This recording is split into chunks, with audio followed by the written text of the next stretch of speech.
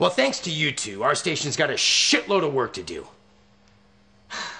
What in God's name were you two bumbling idiots doing miles away from your assigned beat?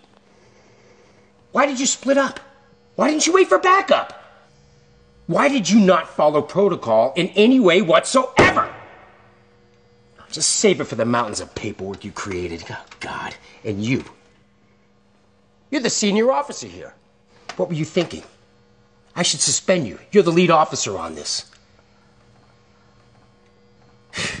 You can forget it. We need all hands on deck. Thank you, sir. Yeah. You can thank me later when you're debriefing the FBI, DEA, and ICE. Oh, yeah, everybody's coming to the party on this one. I don't know how you two stumbled across a 100 kilo cache of cocaine and a human trafficking ring they've been tracing for months. And I don't want to know.